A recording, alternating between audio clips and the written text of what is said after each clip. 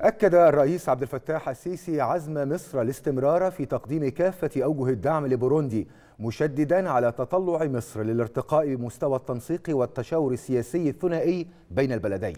جاءت تصريحات الرئيس السيسي خلال استقباله في شرم الشيخ الرئيس إيفارست نادايشيمي رئيس جمهورية بروندي وذلك على هامش انعقاد أعمال القمة العالمية للمناخ كوب 27 استقبل السيد الرئيس عبد الفتاح السيسي في شرم الشيخ.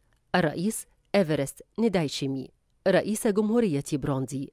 وذلك على هامش انعقاد أعمال القمة العالمية للمناخ كوب 27 صرح المتحدث الرسمي باسم رئاسة الجمهورية بأن السيد الرئيس رحب بزيارة الرئيس البروندي إلى مصر مؤكدا عزم مصر الاستمرار في تقديم كافة أوجه الدعم لبروندي كدولة تجمعنا بها علاقات تاريخية. ومشددا سيادته في هذا الصدد على تطلع مصر للارتقاء بمستوى التنسيق والتشاور السياسي الثنائي بين البلدين. من جانبه أشاد رئيس ندايشيمي بالتنظيم المصري الناجح للقمة العالمية للمناخ وبتميز علاقات الصداقة والروابط الأخوية التي تجمع بين البلدين.